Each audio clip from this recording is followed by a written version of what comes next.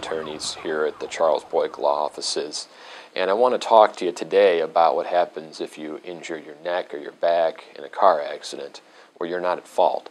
Um, these are some of the most common injuries that occur in a car accident, and our office handles these cases every single day. We work closely with some doctors and chiropractors who we know will be able to get you feeling better and who will also be willing to work with you even if you don't have uh, medical insurance.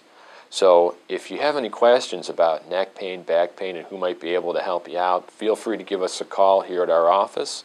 The number's across the bottom of the screen. Thanks a lot.